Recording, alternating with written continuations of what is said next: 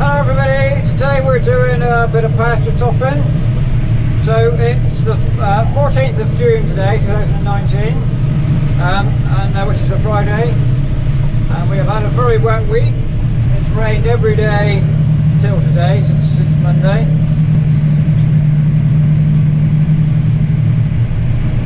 So we must have had a couple of inches by now since, since Monday, and uh, it's been very welcome because we didn't know it at the time, but actually this time last year was the start of the drought. So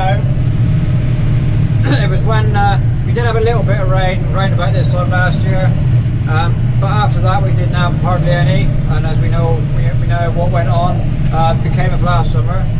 So, so we're welcoming the rain we've had over the last few days and there is still more to come yet. It's, it's sunny today but we've had a little bit of drizzle blowing along in the wind so today is probably the driest day of the week we've had so far.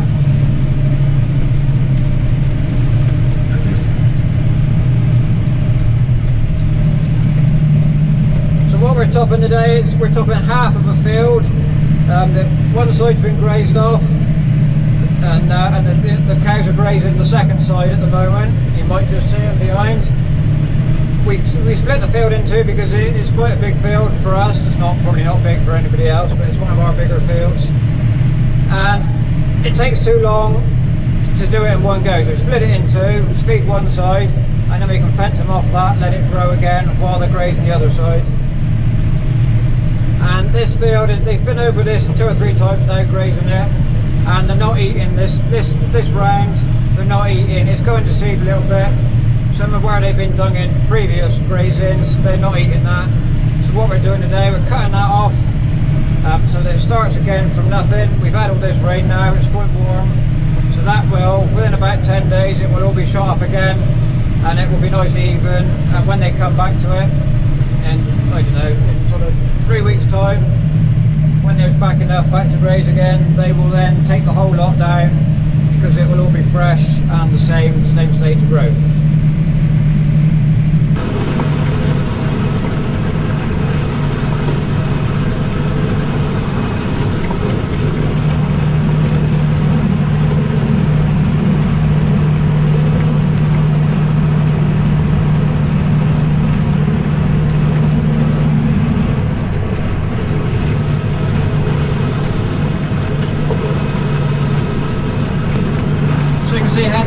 Grazing the far side of this field.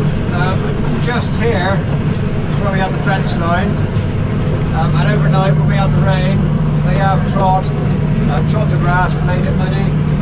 Um, so that won't come back now. But had it been dry, we would still have split field in two, um, and they would have walked along there. Um, so it would have still, they would have still trod that bit.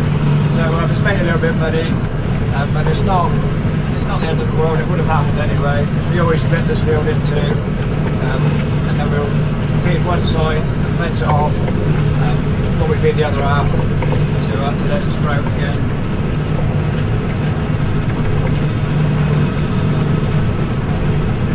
Right, we've just jumped out, it's very windy, so I'm not sure if you hear this or not. Um, but this is what we're dealing with. So this is bits the cows have eaten down to a sensible level, um, and these are bits they don't want. Um, you can see there's, it's gone to seed in places, and down they, they haven't eaten this because it's where they've been dung in on their previous grazings.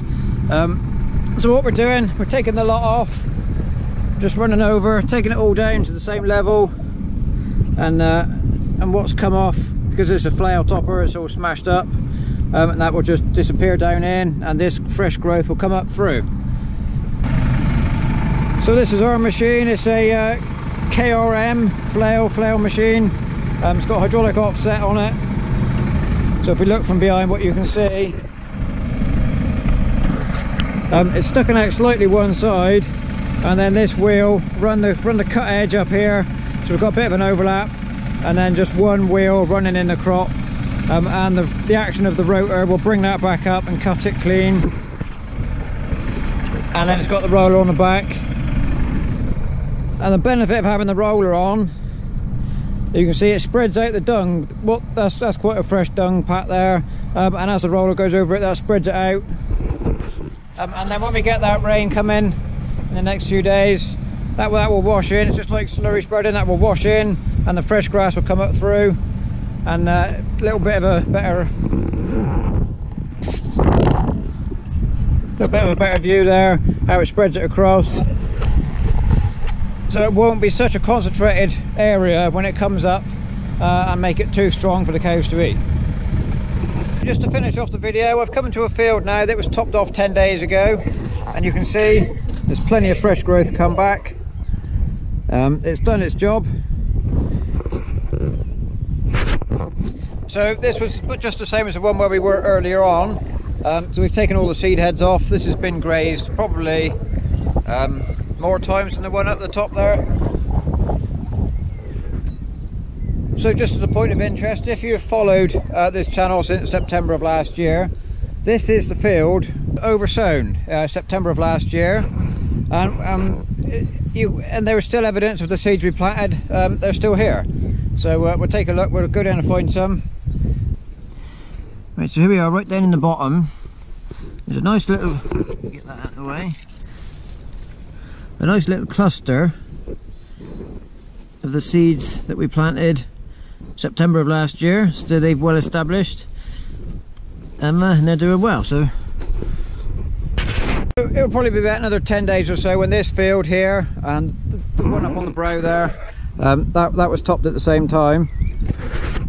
And the one up there again September that was re that was a full reseed so that that was a video we did of ploughing that we didn't film drilling it but we did put out a video in October of when it was coming up so if you want to go back and find that um, I might put a little little thingy somewhere so you can you know go and have a look um, so I think we'll uh, draw this to a close now. It's, it's covered the, the actual why we top, um, a little bit of doing it, and the end result, which is where we are now. So thank you very much for watching, and we'll see you next time.